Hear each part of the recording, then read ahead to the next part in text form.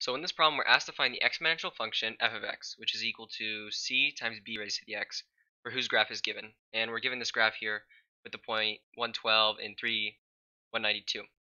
So the first thing we should do is just write down our formula. So we know that f of x is equal to c times b to the x. This is an exponential function formula.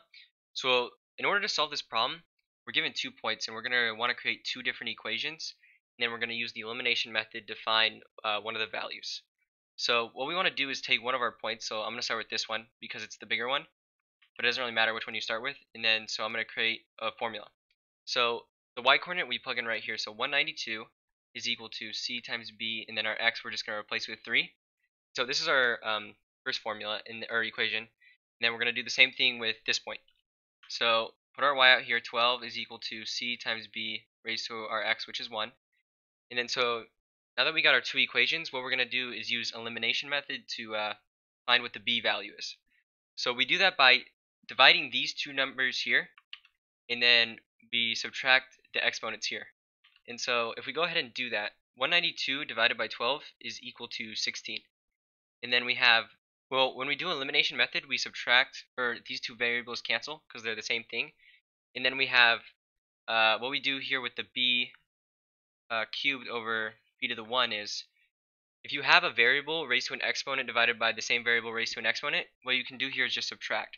So this is the same thing as b to the 3 minus b to the 1, which is just b squared. So we know that this is going to be b squared. So we know that 16 is equal to b squared. And then if we want to find what b is, we can just square root both sides. And then it'll give us that uh, 4 is equal to b. So now that we know what b is, we can basically just solve um, for c, and then we can just plug in those values for our equation.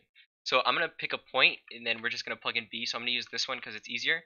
We know that 12 is equal to c times b, and we know that b is 4 raised to the 1. So 12 is equal to c times 4. If we divide both sides by 4, we'll get that 3 is equal to c.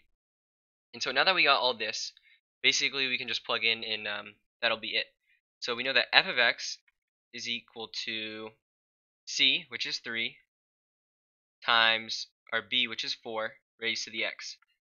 And so this is going to be the answer to this question, and we can check this, right? So let's check it with this point right here.